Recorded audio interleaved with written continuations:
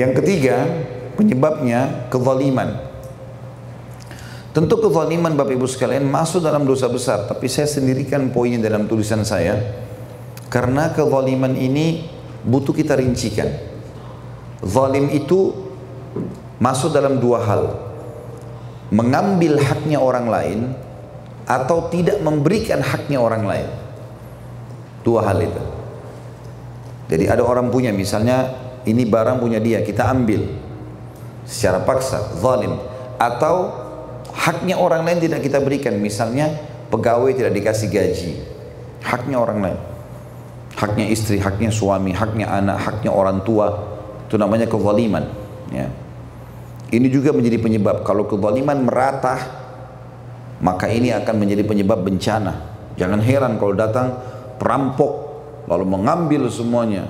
Jangan heran kalau datang banjir menghantam semuanya. Jangan heran kalau datang longsor semuanya kena dan seterusnya. Ya. Jadi harus jadikan sebagai bahan muhasabah. Surah Al-Hajj dalilnya surah nomor 22 ayat 45. Surah nomor 22 ayat 45.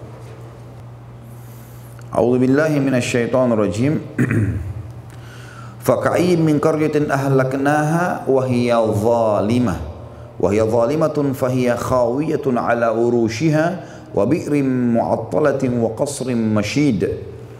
maka betapa banyak negeri yang telah kami binasakan karena penduduknya dalam keadaan zalim.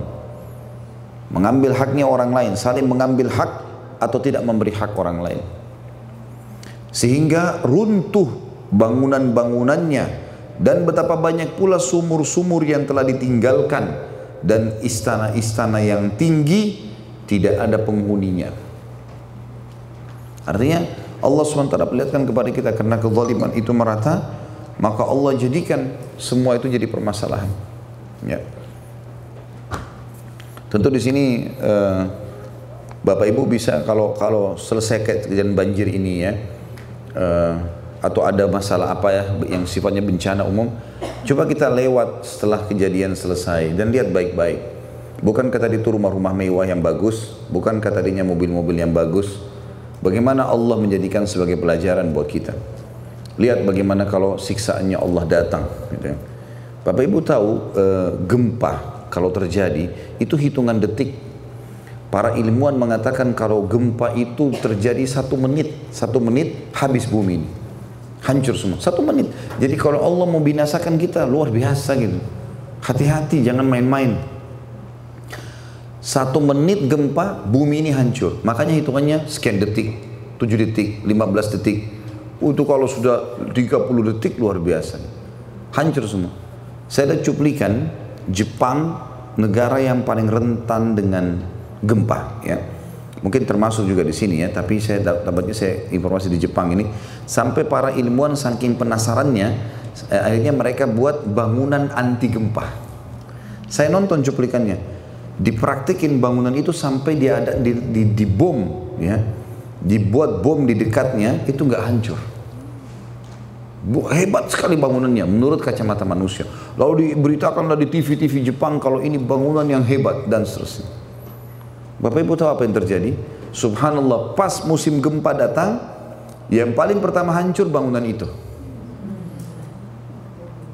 Kalau orang-orang mereka mengatakan, kalau manusia tidak beriman sama Allah, oh mungkin ada mungkin ada hitung-hitungan manusia yang meleset seperti uh, hitungan teknik sipilnya ya, salah hitungan bangunan segala macam. Nanti kita akan buat lagi yang baru ini begini dan begitu. Mereka tidak ambil pelajaran dari situ. Kalau ini sebenarnya Allah SWT yang menunjukkan keajaiban yang luar biasa. Penyebab yang keempat, dan ini akan kita titik beratkan, datangnya bencana. Hindari sebab-sebab ini tidak akan terjadi. Seperti Bapak Ibu, saya tidak mau lapar. Bagaimana caranya? Ya, beberapa saat mungkin kita makan, oh sudah ada bekal, keluar sarap sebelum keluar sarapan, oh ada isi perutnya. Laparnya kan tidak ada. Mungkin sebelum energinya habis dia makan lagi sedikit, akan terhindar dari itu kan. Nah seperti itulah.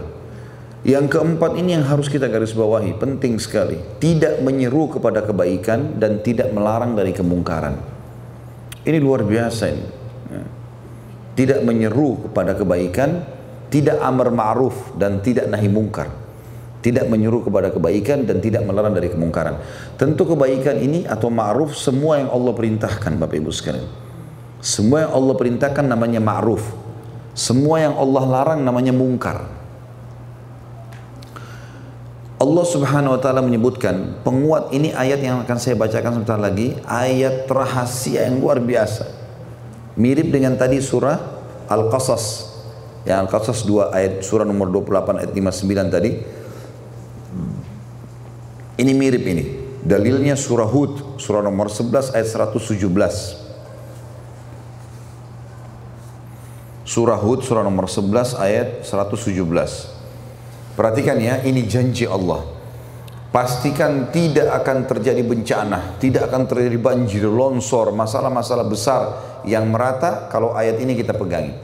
Kata Allah, "A'udzubillahi minasyaitonirrajim wa ma kana rabbuka liyuhlikal qura bidzulmin wa ahluha muslihun."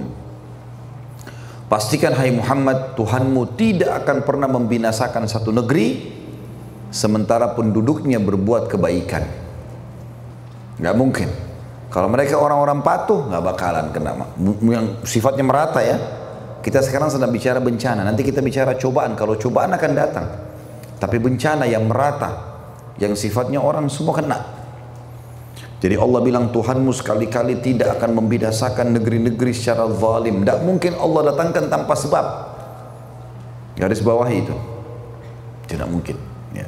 Ini sudah janji dari Allah. Sedangkan penduduknya orang-orang berbuat kebaikan. Tidak bakal Allah hukum. Jadi berarti ada masalah nih. Kalau seandainya ya terjadi seperti itu, merata semua orang kena, ada tanda tanya. Kenapa? Apakah Allah tidak sayang sama kita sehingga kita diganggu oleh orang sehingga kita segala macam? Harusnya digaris bawahin. Ya. Kita lihat Dalil Al-Quran yang membicarakan masalah tidak menyuruh pada kebaikan dan melarang dari kemungkaran. Itu tadi baru dalil yang menjelaskan tidak akan terjadi bencana kalau sifatnya orang-orang berdunia berbuat baik. Dalam surah Al-Maidah, surah nomor 5 ayat 78 sampai 79, Allah berfirman, surah nomor 5 ayat 78 sampai 79. A'udzu. لعن الذين كفروا من بني إسرائيل على لسان داود وعيسى بن مريم ذلك بما عصوا وكانوا يعتدون Orang-orang kafir dari Bani Israel telah dilaknat melalui lisan ucapan lisan atau ucapan Daud dan Isa putra Maryam. Jadi nabi mereka sendiri melaknat mereka. Laknat itu memohon kepada Allah agar berkah hidup mereka diangkat. Apa sebabnya ini? Kenapa kok Kenapa nabi mereka Bani Israel, Bani artinya keturunan Bapak Ibu sekalian, Israel itu nama lainnya Nabi Yakub. Jadi kalau dikatakan Bani Israel berketurunan Nabi Yakub. Kenapa nabi mereka melaknat mereka, minta agar Allah angkat berkah hidupnya? Yang demikian itu karena mereka durhaka dan selalu melampaui batas. Apa yang Allah maksudkan? Kenapa Allah bilang suruh Nabi Daud dan suruh Nabi Isa alaihissalam melaknat Bani Israel yang sedang di yang sedang didakwahi oleh mereka. Dan itu kata Allah karena mereka selalu durhaka dan melampaui batas. Apa kedurhakaan mereka? Apa melampaui batas mereka? Perhatikan ayat 79-nya ini yang Allah jelaskan. Kanu la yatanahawna an munkarin fa'alu labi sama kanu yaf'alun. Mereka tidak saling mencegah perbuatan mungkar yang selalu mereka perbuat. Sungguh sangat buruk apa yang mereka perbuat itu. Jadi kita lihat di sini sebabnya karena mereka tidak melarang kemungkaran yang terjadi di antara mereka. Ya. Tentu Bapak Ibu sekalian, tolok ukur kemungkaran adalah semua yang Allah larang. Jadi Bapak Ibu jangan merasa, oh saya yang penting saya selamat. Masalah orang lain tidak sholat urusan dia. Masalah dia tidak tutup aurat urusan dia. Masalah dia berbohong urusan dia. Yang penting bukan saya. Oh nggak bisa begitu. Kita nggak bisa masuk surga sendiri. Kita harus menyuruh kepada kebaikan dan kita harus melarang kemungkaran. Walaupun sebenarnya kata kuncinya adalah kita menyeru pada kebaikan kalau kita lihat kebaikan itu ditinggalkan. Misalnya kita lagi jalan sama seorang teman, azan, kita sholat, dia nggak sholat, kita lihat ke kebaikan itu, ma'ruf, perintah Allah sholat tidak dikerjakan. Di sini wajib kita amar ma'ruf nahi mungkar. Kita tidak ada kewajiban dalam Islam keluar dari masjid kita pegang tangannya orang yang lewat lalu kita mengatakan apa kau sudah sholat nggak? Nggak ada urusan. Atau kita nggak perlu ketuk-ketuk rumahnya orang, bu, pak sudah sholat belum? Nggak ada urusan. Kalau dilihat depan mata dia nggak sholat kita tahu nih waktunya azan kita masuk masjid sholat dia tidak sholat.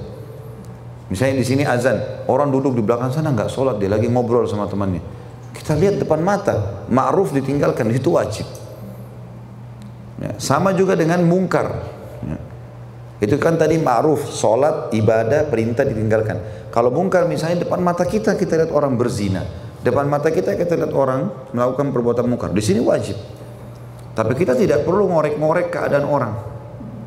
Kamu pernah berzina enggak? Kamu pernah begini enggak? perlu kita tanya-tanya orang. Bahkan dalam masalah rumah tangga Bapak Ibu sekalian tidak boleh seorang suami atau istri bertanya pada pasangannya, kamu pernah berzina enggak? nggak ada urusan nggak usah tanya. Karena nggak kelihatan depan mata. Nggak usah. Nggak usah dikorek-korek ya. dan tidak usah ambil tugasnya malaikat. Hmm. terutama ibu-ibu ini. Nggak usah cek-cek HP-nya suami. Tentu banyak sekali banyak sekali eh, kebongkaran yang terjadi apalagi bapak ibu di negara non muslim begini ya tapi nanti kita jelaskan tentu amar ma'ruf nahi mungkar ini pertama itu ya syaratnya harus kelihatan depan mata baru kita amar ma'ruf nahi mungkar. Kalau tidak kelihatan tidak usah dikorek-korek. Dan yang kedua kita boleh memungkiri mungkar atau menyuruh pada ma'ruf kalau bisa kata Nabi SAW sampai lihat kemungkaran dia harus ubah dengan tangannya. Tangan artinya kekuatan. Power. Misalnya orang tua pada anak, suami pada istri, atasan pada bawahan pemimpin pemerintahan negara kepada masyarakatnya ya. itu kekuatan dia punya power. Bapak Ibu misalnya punya usaha lalu Bapak Ibu syaratkan pegawainya harus sholat. Kalau azan berhenti tutup toko misalnya. Contoh. Kan itu. Seperti yang kami lakukan di Jakarta begitu. Pegawai semuanya azan harus berhenti sholat. Ya. Allah mudahkan ada restoran saya buka di Jakarta. Pegawainya 20 orang sekian. Kalau azan berhenti. Ya, sholat semuanya. Yang tinggal ada security. Karena memang dia harus jaga keamanan di situ. Yang lain semua berhenti. Dan kalau ada orang mau order kita sampaikan maaf sebentar lagi azan. Kalau mau habis sholat. Jadi kita sampaikan. Biasa ada juga orang yang makan ikut sholat. Anak-anak pegawai yang kerja sama kami yang bergabung saya bilang wajib ikut tahfidz Quran.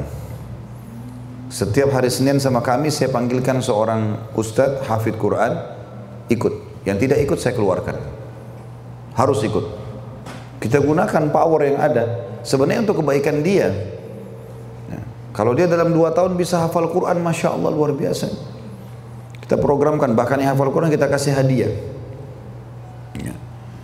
jadi kita bisa gunakan dan banyak orang yang buka tempat di sekitar tempat kami itu pada mengeluh.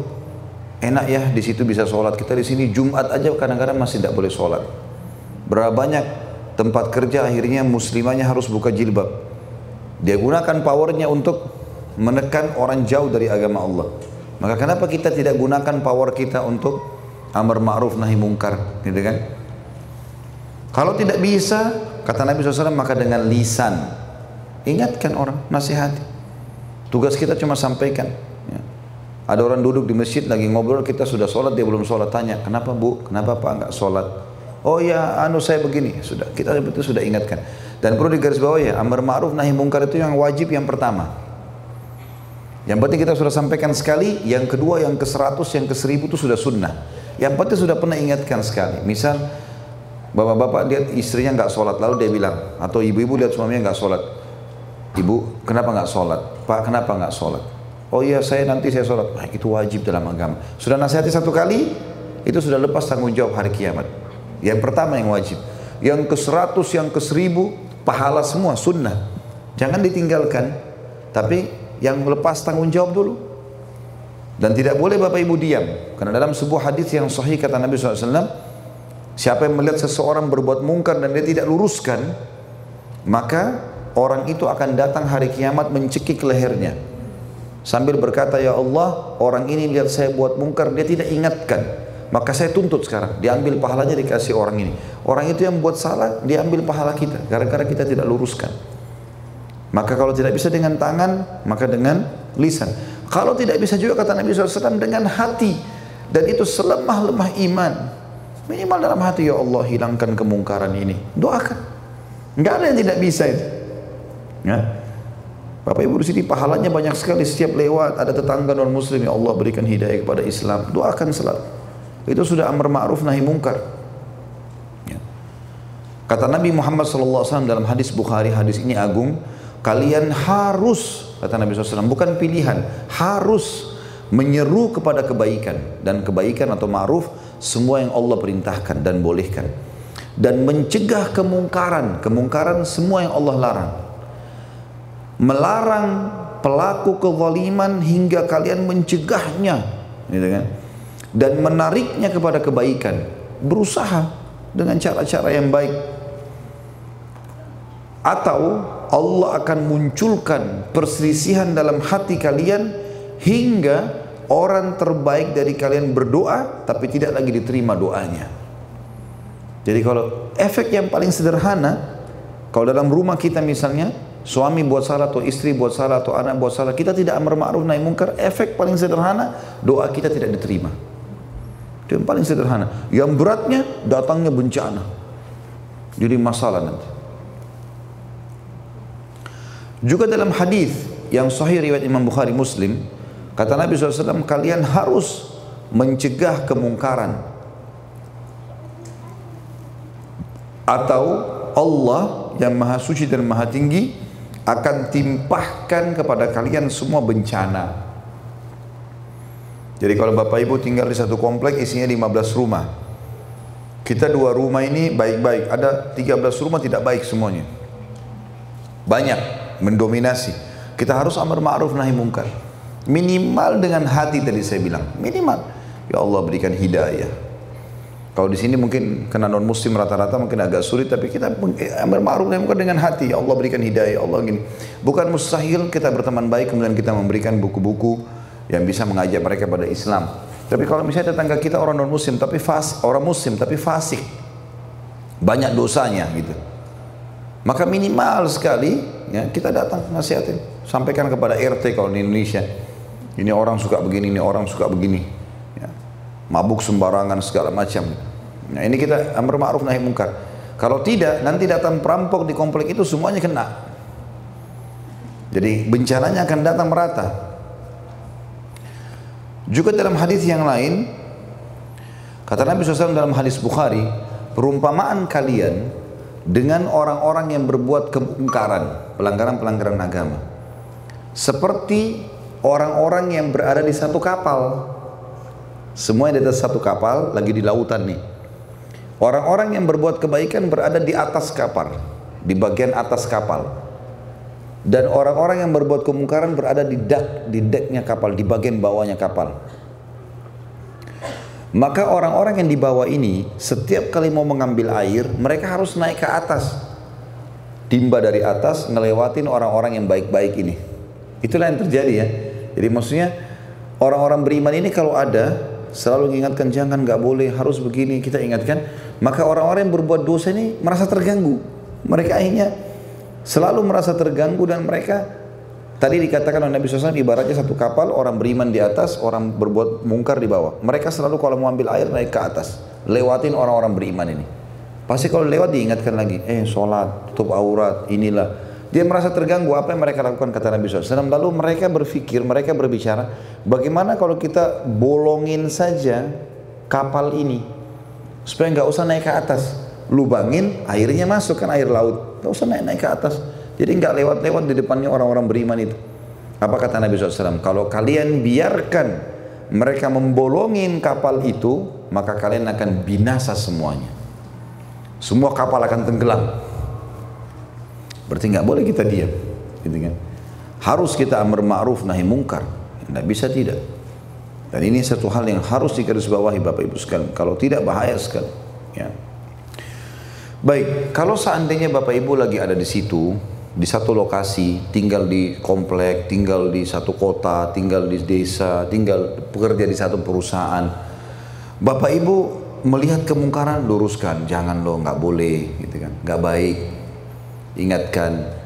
Walaupun orang non Muslim misalnya dia mencuri, nggak boleh loh. Walaupun kita tidak bilang agama saya melarang, enggak. Kita tahu mencuri misalnya dilarang oleh pemerintahan sini misalnya, kita bilang nggak boleh itu dilarang. Atau korupsi, atau bohong, atau apa sih kita ingatkan nggak boleh.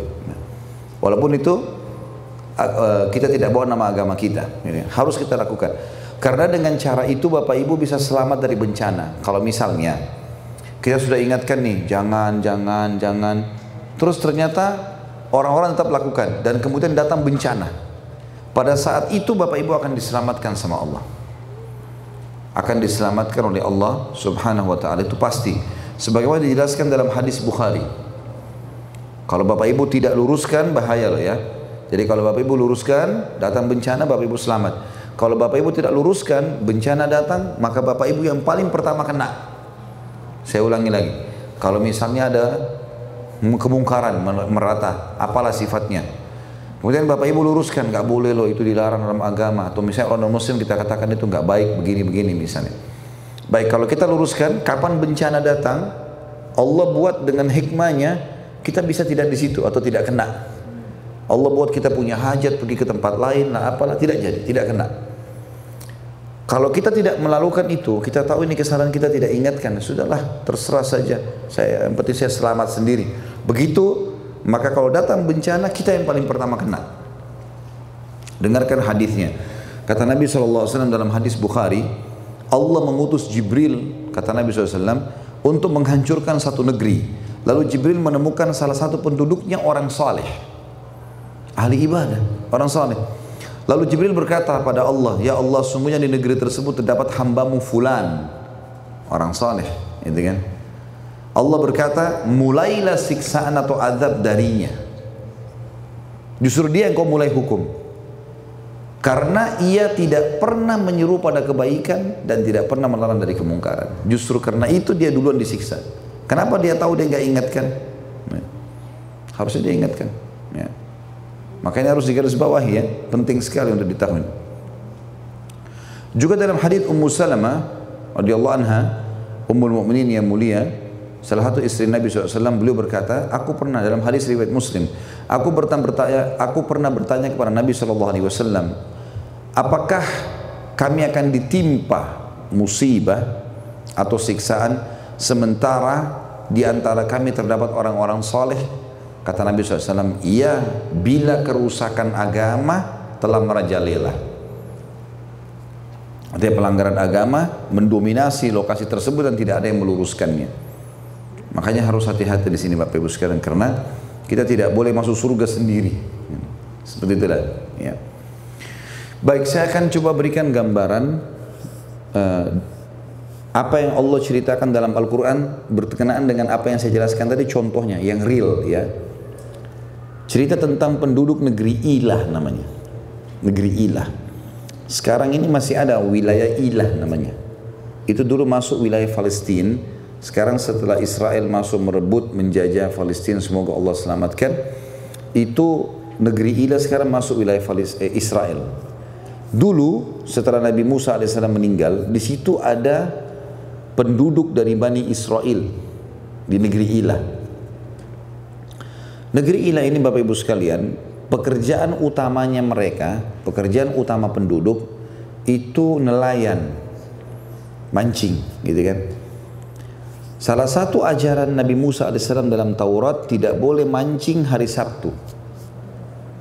Nggak boleh mancing hari Sabtu. Makanya mereka dikenal dengan Ashabus Sabt. Ashabus Sabt. Mereka nggak boleh mancing hari Sabtu. Maka yang mereka lakukan waktu itu penduduk negeri Ila terbagi menjadi tiga. Yang pertama, para pembangkang. Mereka tidak mancing hari Sabtu, tapi mereka pasang jala malam Sabtu. Ya. Jadi Jumat malam mereka pasang jala, hari Sabtu mereka nggak mancing, hari Minggu mereka ambil hasil jaranya. Jadi mau nipu Allah. Hmm. Itu yang mereka lakukan. Ini kelompok pertama. Kelompok yang kedua adalah kelompok yang mamar ma'ruf nahi mungkar. Datang lalu larang, nggak boleh. Allah larang dalam Taurat nggak boleh mancing hari Sabtu. Larang. Member, jadi dua kelompok ini bentrok nih. Yang satu lakukan pelanggaran, yang satu mengingatkan. Datang kelompok ketiga, hati-hati dengan kelompok ketiga ini. Kelompok ketiga ini Bapak Ibu sekalian adalah kelompok yang beriman juga sama Allah, tapi dia bukan bergabung sama kelompok kedua untuk memberhentikan kelompok pertama. Tidak, dia menahan kelompok kedua. Udahlah, nggak usah nasihatin, biarin aja masuk neraka sendiri kok. Gitu. Ini kelompok ketiga nih. Waktu Allah datangkan bencana Bapak Ibu sekalian, Allah binasakan kelompok satu sama kelompok tiga. Kelompok dua tadi yang justru melarang dari kemungkaran itu selamat. Ini cerita tentang penduduk negeri Ila. Waktu diingatkan kelompok pertama sama kelompok kedua, jangan, tidak boleh haram, mereka tidak mau dengar. Datang lagi kelompok ketiga, menahan kelompok kedua. Udahlah, nggak usah nasihatin gini-gini. Allah datangkan cobaan lebih berat. Khusus hari Sabtu, Bapak Ibu sekalian, ikan-ikan di lautan datang semua ke pinggir laut. Sampai mereka tidak butuh jala, saking banyaknya ikan, sampai mereka tinggal pegang-pegang pakai tangan saja. Sebagai cobaan. Selain hari Sabtu, mereka harus keluar ke lautan naik kapal untuk ambil ikan. Sebagai ujian dari Allah Subhanahu wa taala. Jadi penduduk negeri Ila pada saat itu diberikan cobaan oleh Allah Subhanahu taala justru karena masalah ini. Kita dengarkan atau kita lihat kisahnya dalam surah Al-A'raf. Surah nomor 7 dalam Al-Quran. Ayatnya 163 sampai 167. Ini tentang penduduk negeri Ila. Jadi pernah ada orang-orang Yahudi datang kepada Nabi SAW lalu mereka mengolok-olok Nabi SAW apa kamu itu bukan nabi lah segala macam gitu. Kami nggak percaya. Mana buktinya kau nabi? Begitulah ya. Akhirnya Allah Subhanahu wa taala menurunkan ayat ini. Karena Allah mengetahui tentu sebagai pencipta apa yang terjadi pada Bani Israel dan Bani Israel tahu betul tentang kisah ini. Tahu betul tentang kisah negeri Ilah.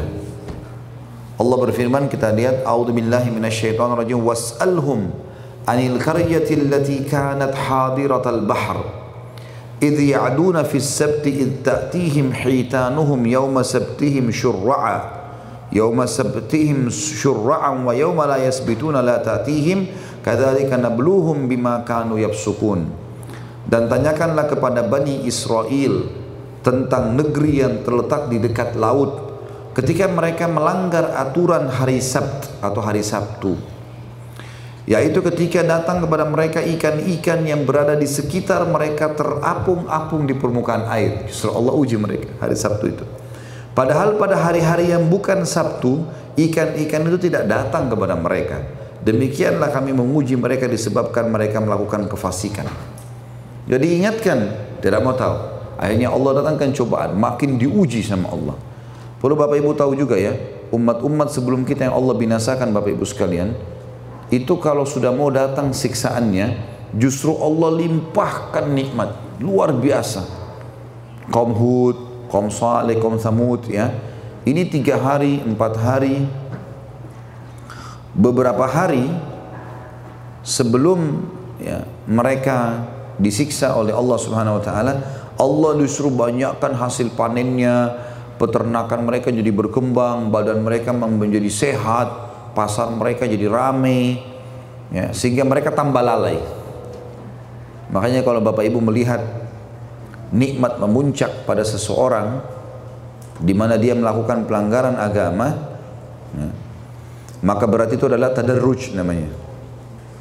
Tadarruj itu adalah tahapan siksaan yang Allah kasih. Jadi biasanya Allah kasih dia siksaan atau makin dilimpahkan nikmat supaya dia makin lalai karena dasarnya Allah sudah tahu orangnya tidak mau baik. Kita lihat ayat 164-nya, lanjutannya. Wa idh qalat ummatum minhum lima ta'iduna qauman illahu muhlikuhum aw mu'adzibuhum adzaban syadida. Qalu ma'dziratan ila rabbikum wa la'allahum yattaqun. Dan ingatlah ketika suatu umat di antara mereka berkata, Mengapa kalian menasehati kaum yang akan dibinasakan atau diadab oleh Allah dengan adab yang keras? Mereka menjawab, agar kami mempunyai alasan atau lepas tanggung jawab kepada Tuhan kalian dan agar mereka bertakwa. Jadi ini cerita tentang kaum yang kedua dan kaum yang ketiga. Jadi kaum yang kedua melarang eh, kaum yang kedua melarang kaum yang pertama. Kaum pertama tadi kan buat dosa tuh, memancing hari Sabtu. Datang kelompok kedua ingatkan, jangan, nggak boleh. Kelompok ketiga datang mengatakan kalau kepada kelompok kedua, tidak usah ikut-ikutan, biarin aja. Makanya di sini dikatakan, ya. Dan ingatlah ketika satu umat di antara mereka berkata, kaum yang ketiga berkata kepada kaum yang kedua, mengapa kalian menasihati kaum yang akan dibinasakan atau diadab oleh Allah dengan adab yang keras? Biarkan aja tuh kelompok pertama buat mengambil ikan segala macam, nanti Allah hukum kok. Tapi mereka tidak pernah amar ma'ruf, tidak pernah nasihati, tidak pernah ingatkan. Mereka menjawab, yang menjawab ini adalah kelompok kedua. Mereka menjawab agar kami mempunyai alasan lepas tanggung jawab hari kiamat. Minimal kami sudah amar ma'ruf nahi mungkar dulu. Nanti masalah mereka dihukum oleh Allah itu urusan Allah gitu. Dan siapa tahu mereka bertakwa. Siapa tahu mereka mau sadar gitu. 165-nya, falamma nasu ma dzukiru bihi anjayna alladhina yanhauna anis su'i wa akhadna alladhina zalamu bi'adzabin ba'isin bima kanu yafsukun maka setelah mereka melupakan apa yang diperingatkan kepada mereka kami selamatkan orang-orang yang melarang orang berbuat jahat. Dan ini perhatikan ya maka setelah mereka melupakan apa yang diperingatkan kepada mereka diingatkan ingatkan tidak mau tahu tetap melanggar maka kami selamatkan orang-orang yang melarang orang berbuat jahat. Kelompok kedua tadi. Dan kami timpahkan kepada orang-orang zalim siksaan yang keras. Yang zalim kata ulama tafsir adalah kelompok pertama sama kelompok ketiga. Disebabkan mereka berbuat fasik. 166 nya falamma atau amma nuhu anhu qulna lahum kunu kirdatan khasiin. Maka setelah mereka bersikap sombong terhadap segala apa yang telah dilarang, ah nggak usah ingatkan kami, biarin aja terserah Allah menghukum apalah segala macam. Urusan saya, badan-badan saya, kepala-kepala saya, lisan-lisan saya. Kita sombong dengan itu diingatkan tidak mau. Maka kami katakan kepada mereka jadilah kalian kera yang hina. Ya, jadi maksudnya di sini Allah swt datangkan hukuman dalam sebuah hadis disebutkan Allah jadikan mereka ya, kerah selama tiga hari. Berubah jadi kerah, dikutuk oleh Allah SWT. Lalu kemudian Allah binasakan setelah tiga hari. Riwayatnya menjelaskan Allah ubah mereka menjadi kera dan babi. Makanya orang Yahudi mendapatkan julukan itu. Ya, saudaranya kerah dan babi. Memang begitu julukan disebutkan oleh Nabi alaihi salatu wassalam. Ada sedikit di sini penekanan di ayat 167-nya Bapak Ibu sekalian tentang masalah sekelompok dari Bani Israel. Kalau yang sekarang dikenal dengan kaum Yahudi. Semua yang mengaku pengikut Nabi Musa. Ya, dikatakan kaum Yahudi. Diambil dari kata-kata Huda. Ya, Huda artinya taubat sebenarnya ya. Jadi waktu Nabi Musa AS pergi uh, ke Bukit Tursina untuk menerima wahyu Taurat selama 40 hari maka eh, di kaum di Bani Israel Nabi Musa AS meninggalkan saudaranya Harun wassalam. Tapi Harun eh, dikalah pamornya waktu itu oleh Samiri. Samiri ini eh, pengikut Nabi Musa yang kaya raya anak kepala suku lalu dia buat dengan hartanya patung sapi dari emas lalu dia suruh kaumnya sembah Bani Israel ikut-ikutan sembah Nabi Harun ingatkan tidak mau dengar Gitu kan. Waktu Nabi Musa AS balik, Nabi Musa AS marah. Bagaimana kalian bisa sembah berhala nih? Sudah saya ingatkan sembah Allah. Berhala itu batu kalian buat sendiri. Kalian yang ukir, kalian yang berikan nama, kalian yang pikul, tidak bisa bergerak, tidak bisa makan, tidak bisa menurunkan hujan, tidak bisa apa-apa. Lalu dikakuin, ngakuin Tuhan bagaimana nih? Maka Samiri pun diusir oleh Nabi Musa AS.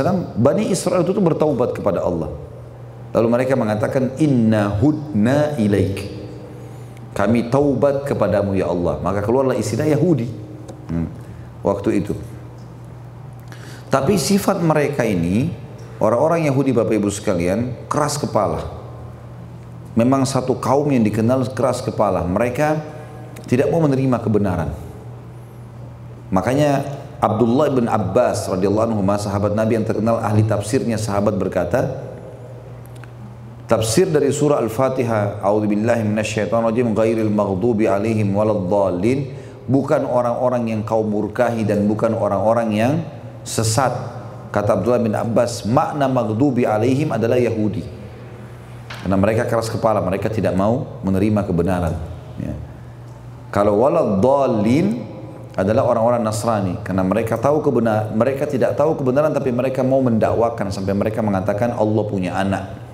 Padahal Allah konsepnya lam yalid walam yulad. Tidak beranak tidak diperanakkan. Tidak ada orang tuanya tidak ada keturunannya. Karena kalau Allah punya orang tua siapa awalnya ayah ibunya siapa di atas Allah bilang lam yalid walam yulad. Tidak ada keturunannya. Kalau ada keturunannya Allah maka siapa keturunannya selanjutnya? Gitu kan. Gara-gara perbuatan ini Allah SWT sebutkan di ayat 167 Wa idh ta'adzana rabbuka la yab'athanna 'alaihim ila yaumil qiyamati may yasumuhum su'al 'adzab inna rabbaka lasari'ul iqab wa innahu laghafurur rahim Ingatlah ketika Tuhan memberitahukan bahwasanya sungguh dia akan mengirim orang-orang yang akan menimpakan azab yang seburuk-buruknya kepada mereka atau orang-orang Yahudi sampai hari kiamat. Sesungguhnya Tuhanmu sangat cepat siksanya dan sesungguhnya dia maha pengampun lagi maha penyayang. Subhanallah orang-orang Yahudi Bapak Ibu sekalian sekarang tahu betul tentang agama kita ini dan tahu betul tentang masalah tentang masalah adanya uh, kesalahan di tengah-tengah mereka. Sampai Allah mengatakan dalam ayat lain, Ya arifuna kama yarifuna abnahum. Mereka mengenal Nabi Muhammad SAW sebagaimana mereka mengenal anak-anak mereka sendiri. Tapi mereka nggak mau beriman. Mereka nggak mau beriman. Pernah ada satu orang pendeta Yahudi namanya Abdullah bin Salam radhiyallahu anhu. Ini pendeta Yahudi yang dapat hidayah betul. Dia dia tidak bisa dalam jiwanya bergejolak. Ini benar, kenapa ditolak gitu. Maka dia pergi ke masjid. Lalu dia bertanya kepada Nabi Muhammad SAW berapa pertanyaan. Dia bilang, Hai Muhammad, saya akan bertanya pada pertanyaan yang tidak dijawab, tidak bisa dijawab kecuali oleh Nabi. Kata Nabi SAW, baik, bertanyalah. Bertanyalah dia beberapa pertanyaan gitu kan. Maka pada saat dia bertanya dan dijawab, dia syahadat. Setelah syahadat dia mengatakan, Ya Rasulullah, sesungguhnya orang Yahudi ini kaum gadar. Kaum gadar itu kaum yang suka mm, uh, membalik bola balikan fakta. Jadi biar tahu benar, dia balik fakta itu.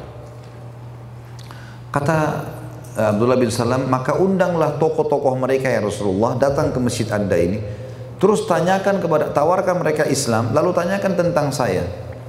Kata Nabi SAW, baiklah. Datanglah beberapa pendeta Yahudi, pada saat itu kemudian Nabi SAW berkata kepada mereka, Hai Yahudi bertakwalah kepada Allah. Kalian tahu saya utusan Allah. Kenapa tidak mau beriman? Berimanlah. Gitu kan? Jelas-jelas Al-Quran datang melengkapkan Taurat dan Injil. Maka mereka bilang, tidak kami nggak mau beriman. Kami tidak yakin kau sebagai Nabi. Lalu kata Nabi SAW, bagaimana pendapat kalian kalau Bagaimana pendapat kalian tentang Abdullah bin Salam, pendeta mereka? Yang baru masuk Islam tadi, mereka tidak tahu kalau sudah masuk Islam. Kata mereka, dia adalah pimpinan kami, anak pimpinan kami. Maksudnya, dia ulama kami, juga dia, ayahnya juga ulama kami dan pimpinan kami. Karena ayahnya Abdullah bin Salam pendeta mereka juga. Kata Nabi SAW, bagaimana kalau dia masuk Islam? Kata mereka, enggak mungkin, mustahil. Enggak mungkin. Kata Nabi SAW, baiklah. Hai Abdullah bin Salam. Abdullah bin Salam keluar. Abdullah bin Salam keluar. Pada saat keluar Abdullah bin Salam ini, lalu dia mengatakan, Hai Yahudi bertakwalah kepada Allah. Asyhadu an la ilaha illallah wa anna Muhammad Rasulullah. Syahadat dia. Waktu dia syahadat, tiba-tiba orang Yahudi tadi yang puji-puji dia mengatakan, dia orang yang paling bodoh di antara kami, dan dia anaknya orang bodoh di antara kami. Saking luar biasanya Yahudi seperti itu. Makanya Allah SWT sebutkan dalam ayat ini. Allah pasti akan hukum. Baik Ustaz, kan sekarang mereka kuasai Palestina, gitu kan? Bagaimana hubungkan dengan ayat ini kalau Allah akan hukum mereka? Sabar aja. Akan datang saatnya di mana pasti akan datang kemenangan. Tidak mungkin tidak. Janji Allah nggak mungkin salah. Ini sudah pasti, gitu kan? ini sudah pasti. Salah satu buktinya adalah saya kebetulan sudah dua kali masuk di Palestina. Kalau biasa dari Indonesia ada umroh plus Aqsa. Saya pergi ke sana bimbing bawa jemaah dari Indonesia ke umroh tapi kita ke Palestina dulu.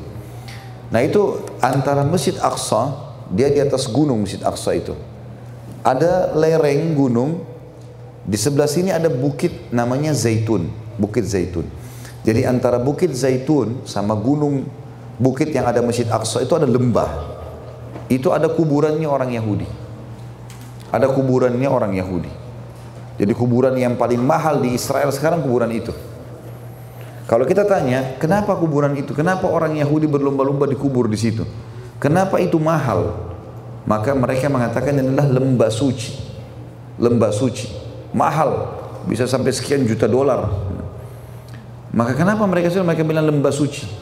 Apa maksudnya suci? Mereka yakin nanti terakhir Dajjal akan dibunuh oleh Nabi Isa di situ, di lembah itu. Dan orang-orang Yahudi yang kalau Bapak Ibu pernah dengar hadis Nanti pada akhir zaman pada saat Dajjal terbunuh lalu orang Yahudi sembunyi di atas pohon dan di bawah pohon dan di atas batu lalu batu dan pohon bicara hai muslim ini Yahudi bunuhlah dia nah di lembah itu lembah itu mereka makanya mereka sudah tahu nanti kalau mereka akan dibunuh di situ di akhir zaman ya, mereka sengaja beli lagi sengaja minta dikubur di situ. Kan itu aneh ya. Tapi subhanallah magdubi alaihim. Allah murka dengan mereka. Makanya Allah mengatakan dalam al tadi dalam Al-Araf 167 itu Allah akan utus kaum yang akan membinasakan mereka nanti. Baik, itulah Bapak Ibu sekalian sebab-sebab daripada bencana umum. Artinya merata. Kalau Bapak Ibu jauhi ini, maka insya Allah tidak akan kena bencana. Gitu. Ya. Dan ingat selalu tadi, dua ayat ini hafal baik-baik. Al-Qasas surah nomor 28 ayat 59 tadi dengan Hud surah nomor 11 ayat 117. Allah berjanji Allah tidak akan membinasakan satu kaum ya, sampai Allah eh, kecuali, kecuali kalau penduduknya berbuat zalim atau kalau penduduknya berbuat baik tidak akan Allah binasakan.